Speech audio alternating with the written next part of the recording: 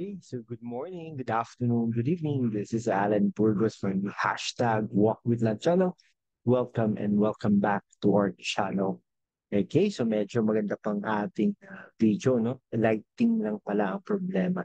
Anyhow, so hindi, kung hindi ka pa nakapag-subscribe sa ating channel, mga kaibigan ko, mag-subscribe naman po kayo so that we can be able to maintain and sustain this channel. So as of the latest, we are now 6,644 subscribers. With that, thank you, thank you so much, okay, to all of our subscribers and to our future subscribers. No? And then you will be part of this growing family, 6,644 subscribers. Okay, so pag-usama po natin ngayon ay yung ano po, no, kay dating Pangulong Rodrigo Roa Duterte, no.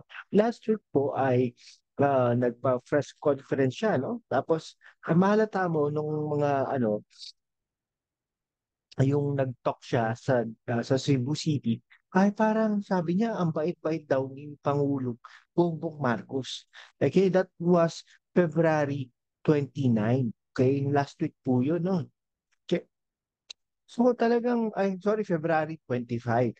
Nung nag-talk po siya doon. Tapos noong February 29, nag-press conference po siya.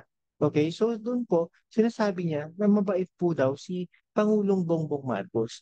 At nung nag-press conference siya, sinabi niya, hindi daw niya sinabi. Tinanong kasi siya ng mga reporter, ng mga reporters, kung may sinabi siyang addict si uh, Pangulong Bongbong Marcos. Ang sabi niya, hindi daw niya sinabi yun. Kaya tinawanan po siya, no?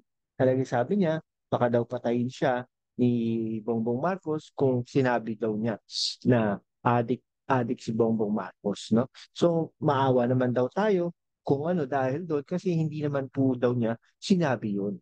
So, kung kumbaga, parang umatras na po, no? Si Rodrigo Roa Duterte, ang ating dating Pangulo, sa mga sinabi niya, no? Parang umatras na rin po siya sa pakikibaka kay uh, Bongbong Marcos, no? At saka, yung paghihiwalay ng Mindanao ay hindi naman niya talaga uh, sinasadya yun or binibiro lang tayo.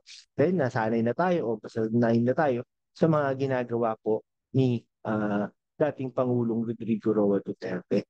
Kung ako sa kanya ay mamahinga na, no? Uh, pero kung gusto niya tumakbo bilang senador, pwede din naman siya tumakbo bilang senador, ngunit baka may mga first time, no? Baka first time niya matalo sa halalan, no? Kasi po si dating Rodrigo Roa Duterte, ang ating dating Pangul, uh, pang, Pangulo ng Pilipinas, ay hindi pa po natatalo yan. No?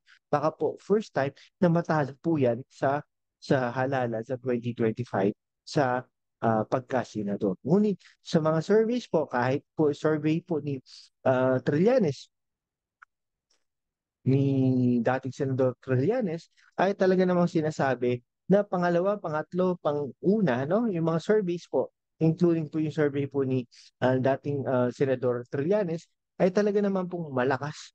Malakas na malakas si uh, si uh, dating Pangulong Rodrigo Roa Duterte. Kayo guys, ano po bang inyong opinion no? Sa pag-atras po ni uh, dating Pangulong Rodrigo Roa Duterte sa mga ganitong kaparaanan. Okay, sige. Hanggang dito na lang po mga kaibigan ko. Maraming maraming salamat. Kung hindi ka pa nakapag-subscribe kaibigan, mag-subscribe ka naman para naman we can be able to maintain and sustain this channel. Thank you, thank you so much. God bless you all.